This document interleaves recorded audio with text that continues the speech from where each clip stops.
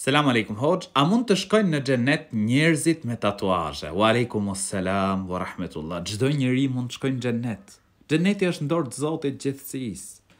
Çdo njeri i cili adhuron Allahun e lartësuar një të vetëm, nuk i bën atij shok në adhurim, beson dhe pason Profetin Muhammed paqja dhe mëshira e Zotit qofshin mbi të, e ka mundësinë të shkojë në xhenet.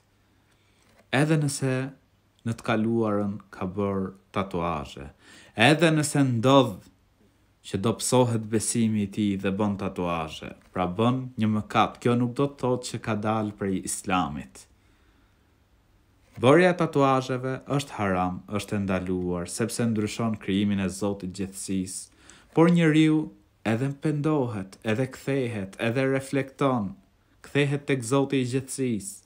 Allahu i Lartësuar portat e pendimit i ka të hapura!